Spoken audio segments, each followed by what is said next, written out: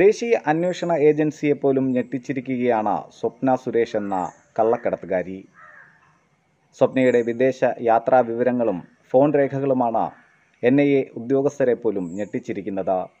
മാത്രമല്ല ഇന്ത്യൻ ബഹിരാകാശ ഗവേഷണ സ്ഥാപനമായ ഐ എസ് ആർ പല ഉന്നത ശാസ്ത്രജ്ഞന്മാരുമായും സ്വപ്നയ്ക്ക് അടുത്ത എന്നാൽ അത്ര സുതാര്യമല്ലാത്ത ബന്ധമുണ്ടെന്നും എൻ ഐ എ കണ്ടെത്തിയിട്ടുണ്ട്.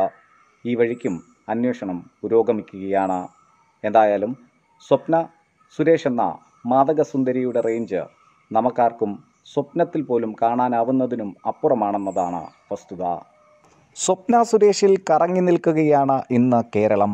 ഇവരുടെ ബന്ധങ്ങൾ ഫോൺ കോളുകൾ ഇടപെടലുകൾ അങ്ങനെ ഓരോന്നും ഇഴകീറി പരിശോധിക്കുന്ന എൻ ഐ എ ഉദ്യോഗസ്ഥർ വരെ ഞെട്ടിത്തെറിച്ചിരിക്കുകയാണ്. സ്പേസ് പാർക്കിലെ സ്വപ്ന സുരേഷിന്റെ നിയമനത്തെപ്പറ്റിയും എൻ ഐ എ അന്വേഷിക്കുന്നതായി വിവരങ്ങൾ പുറത്തുവരുന്നു. ഐ എസ് ആർ മുൻ ശാസ്ത്രജ്ഞന്മാരുമായി സ്വപ്നയ്ക്ക് അടുത്ത ബന്ധമുള്ളതായി തെളിഞ്ഞിട്ടുണ്ട്. സ്വപ്നയുടെ ഫോൺ വിശദാംശങ്ങൾ ദേശീയ അന്വേഷണ ഏജൻസിയെ അക്ഷരാർത്ഥത്തിൽ ഞെട്ടിച്ചിരിക്കുകയാണ്. സ്വപ്നയുടെ വിദേശയാത്രകളുടെ റൂട്ട് മാപ്പ് അതിനാൽ തന്നെ സൂക്ഷ്മമായി പരിശോധിക്കുകയാണ് ദേശീയ അന്വേഷണ ഏജൻസി ഉദ്യോഗസ്ഥർ.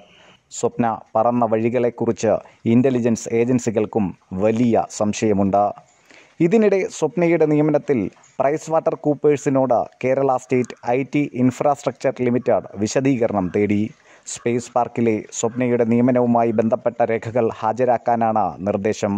പ്രധാനമായും വിദ്യാഭ്യാസ യോഗ്യത സംബന്ധിച്ച രേഖകളാണ് ആവശ്യപ്പെട്ടതെന്നറിയുന്നു. സ്പേസ് പാർക്കിലെ സ്വപ്നയുടെ നിയമനത്തിന്റെ പശ്ചാത്തല അന്വേഷണം നടത്തിയത് പ്രൈസ് വാട്ടർ കൂപ്പേഴ്സാണ്. വീഴ്ച കണ്ടെത്തിയാൽ സ്ഥാപനത്തിനെതിരെ നടപടിയുണ്ടാകുമെന്നാണ് സൂചന.